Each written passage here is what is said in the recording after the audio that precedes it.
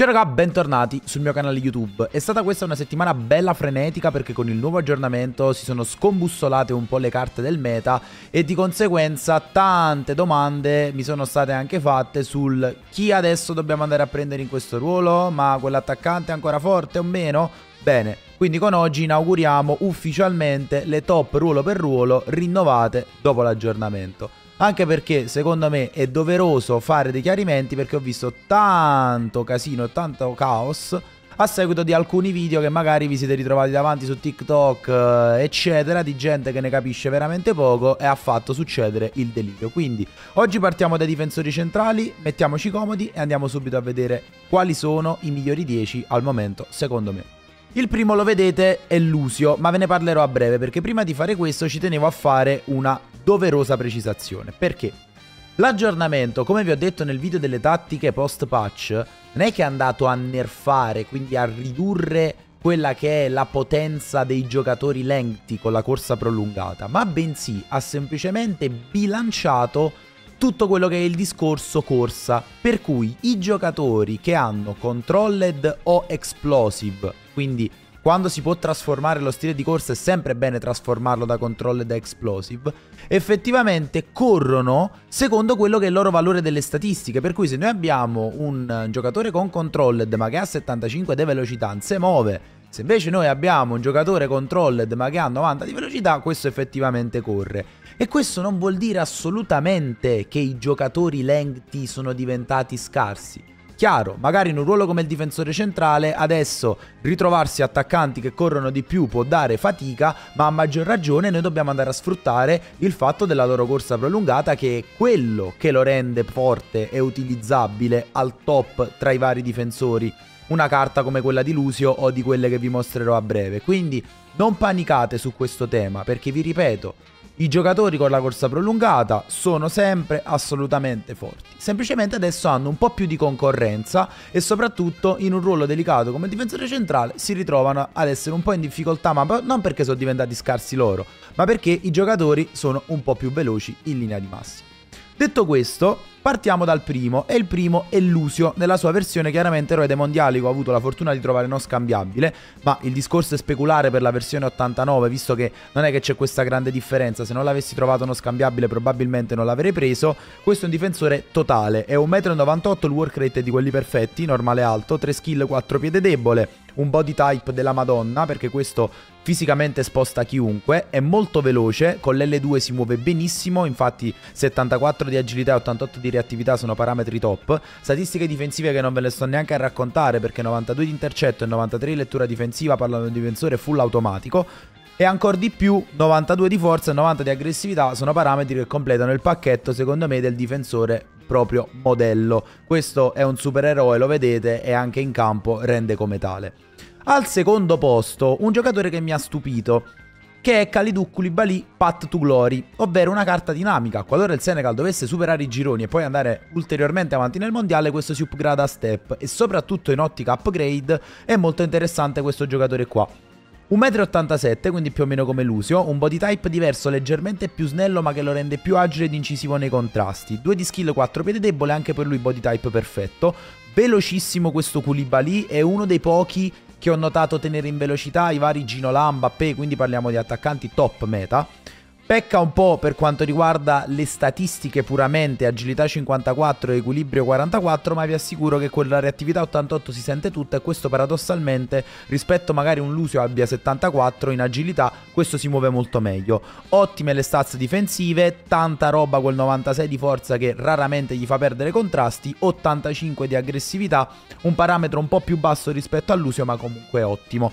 E soprattutto vi ripeto, considerando che questa carta potrebbe diventare ancora più forte, io ho pensato di prenderla, mi ci sono trovato molto bene e ha superato nelle gerarchie per me Van Dyke. Così come un altro giocatore che per me con l'aggiornamento è riabilitato completamente supera probabilmente anche Virgil è proprio Tomori, 1,85 m, quindi a scaletta pian piano perdiamo centimetri, normale alto, 2 di skill e 4 piede debole, quindi più o meno come Koulibaly sotto questo profilo rapidissimo, 91 di velocità scatto, agilità 77, reattività 88, questo con l'L2 è un fulmine di guerra. Statistiche difensive che sono leggermente più basse rispetto a Lucio e Koulibaly, infatti è un pelino pelino più manuale, ma comunque tanti interventi automatici ve li fa. Forza 86, aggressi- aggressività 85 e considerato anche quelli che sono i link, magari con un Teo Hernandez di cui poi parleremo nel video sui terzini, questo Tomori per me è nella top 3 al momento dei migliori difensori. Un sempreverde chiaramente è proprio Virgil, normale alto, 1,93 m, 2 di skill, 3 di piede debole, giocatore anche questo che tanti hanno panicato, l'hanno venduto, l'hanno fatto calare di prezzo, ma fa assolutamente il suo perché rimane comunque veloce sul lungo, con l'L2 è quello che rispetto ai tre precedenti fa un pelo più fatica, però poi tra stats difensive, 93 di forza e 85 di aggressività non può che mantenere il primato lì davanti. Un altro giocatore invece riabilitatissimo e che tanti magari sottovalutano è questo Carlos Alberto. Perché? Voi lo vedete terzino destro, ma se andate a vedere nei ruoli alternativi questo può fare il DC. E un DC con 90 di velocità, raga, non esiste al momento sul gioco. Chiaramente pecca un po' per quanto riguarda la stazza, perché 1,80 m magari non è ottimale visti gli attaccanti fisici di quest'anno. Però ha 3 di skill e 4 di piede debole, pecca anche leggermente per quanto riguarda il work rate, quindi magari qui dovete stare molto attenti a difendere un po' più alti se utilizzate questo giocatore, però se magari lo beccate più alto, questo con quel 90 di velocità vi rincorre tutti quanti gli avversari all'indietro ed è probabilmente un vantaggio avere praticamente un terzino DC che si tiene bene quasi tutti quanti. Chiaro. Poi bisogna stare molto attenti a non eh, perdere contrasti perché comunque ha un buon equilibrio, però forza 85 unita a 1,80 m non è neanche troppo, visto il 77 di aggressività. Però le statistiche difensive sono ottime, questo ha anche un discreto passaggio corto, quindi per quanto riguarda poi la fase di uscita ve la cavate anche discretamente, 86 di agilità, 87 di equilibrio, questo con l'L2 è quello che probabilmente si muove meglio fino ad ora. E occhio perché per me è un giocatorone e magari non lo si vedrà tanto nel competitive perché non ci si spreca l'icon per un, di certo un difensore centrale. Però magari ritrovarselo più avanti anche con una sfida icon, pensateci. Altra carta clamorosa è quella di Konate, che ormai si è upgradato, 84 di velocità, già lì lo vediamo, normale alto 1,94 m, quindi tutto perfetto. 92 di velocità scatto nel dettaglio, 87 di passaggio corto top, Pecca leggermente in agilità, lui perché ha anche un body type importante, ottime le stats difensive, ottimo il discorso relativo a forza e aggressività, sto con a te per me provatelo perché se la va a dare a battaglia con tutti quelli che abbiamo visto in precedenza e visto che anche francese del Liverpool è facilmente ibridabile.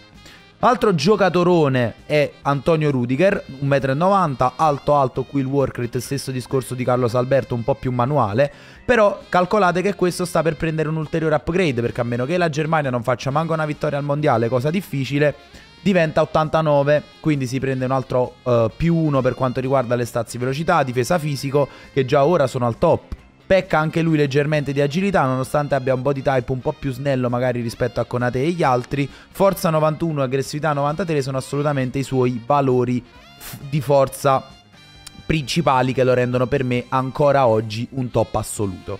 Così come un top assoluto è anche questo Gerard Piquet, normale alto, 1,94 m, velocissimo anche lui, ottimi passaggi, è quello con i passaggi migliori quasi da playmaker, Pecca lui sì in agilità, nonostante quella reattività di 88 si sente un po' di più e quello meno agile rispetto a quelli che vi ho fatto vedere al momento.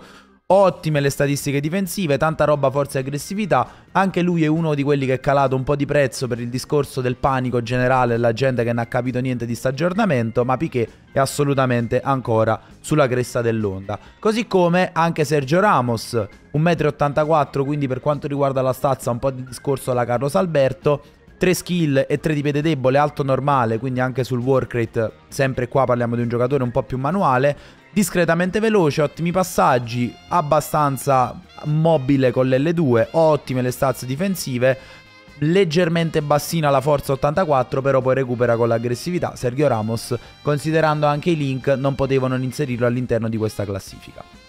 L'ultimo posto lo faccio occupare a Ivan Ramiro Cordoba, un altro giocatore che è salito incredibilmente di prezzo e fate ovviamente facile a capire il perché. 1,73 m è il suo unico problema, raga, perché poi ha Basso alto come rendimento, quindi difende molto bene. Straveloce è quello più veloce perché è bilanciato sia in accelerazione che velocità scatto tra quelli che vi ho presentato insieme a Tomori. Agilità 80, equilibrio 91 e reattività 84, quindi è vero che paga un po' fisicamente, però comunque con attaccanti alti, con il suo 91 di, equ- di equilibrio, il baricentro basso dovrebbe reggere discretamente. Statistiche difensive al top, forza 84 un po' alla Ramos, aggressività 89.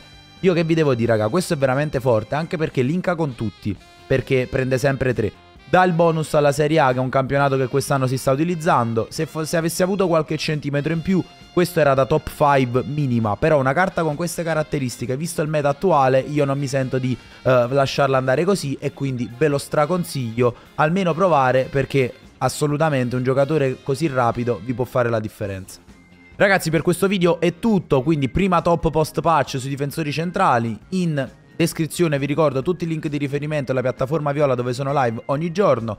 Vi prego di commentare sape, dicendomi quali sono i giocatori che voi avete riprovato dopo la patch o preso proprio in questi ruoli così ci confrontiamo. A me non resta altro che augurarvi una buona giornata, sono i vostri Beroschi. Ciao!